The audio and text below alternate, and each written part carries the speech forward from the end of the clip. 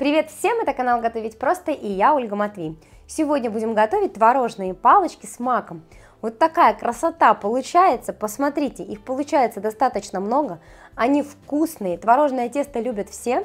Это просто, начинаем.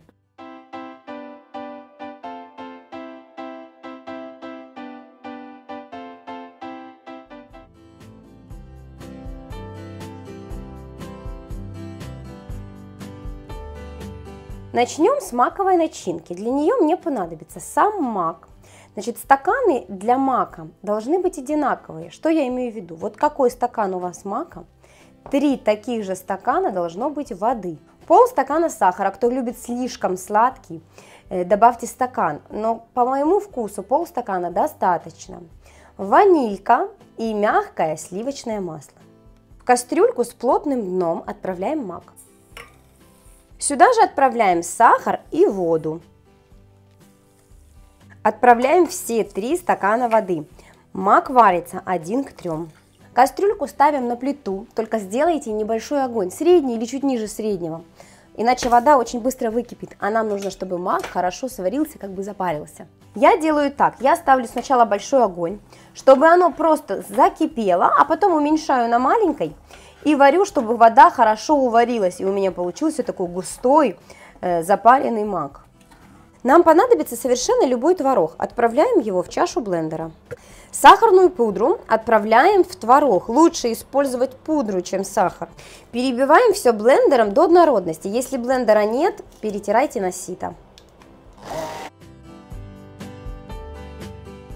Вот такой получился творог. Если есть возможность перетирать его на сито, перетирайте ситом, потому что он будет еще нежнее. Но это за лучшее.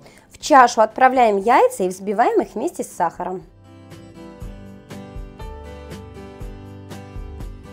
Сюда в яйца отправляем масло и творожную массу, которую мы приготовили. Перемешиваем венчиком до однородности. Можно делать миксером. Через сито просеиваем сюда всю муку и разрыхлитель. Замешиваем тесто, оно получается очень мягкое. На стол отправляем 2 столовые ложки муки и сюда выкладываем тесто. Руки немножечко в муку, чтобы не так липло, и замешиваем.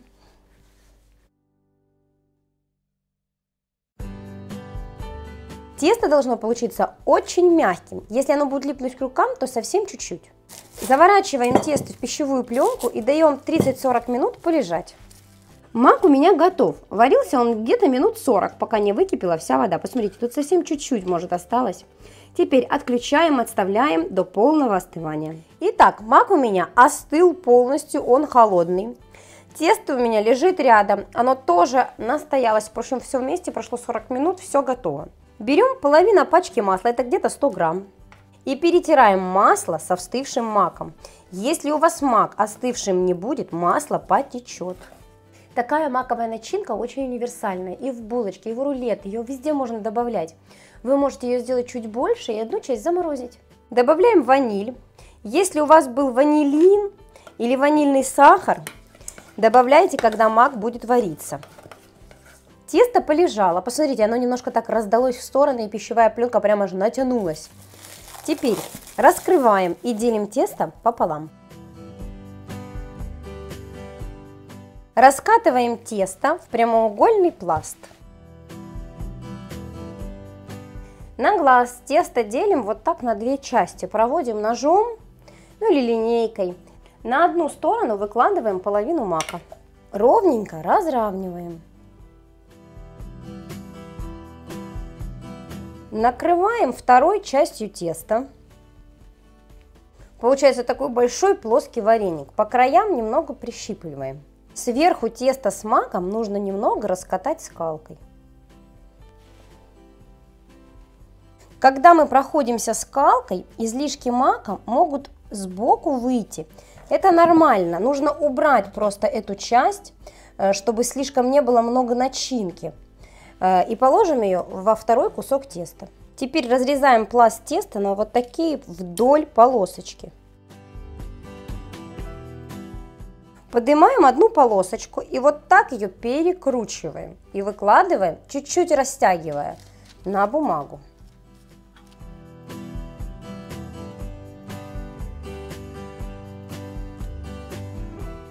И последнее, это два краешка, посмотрите, они чуть-чуть короче, немножко не такой формы, как эти, но ничего страшного.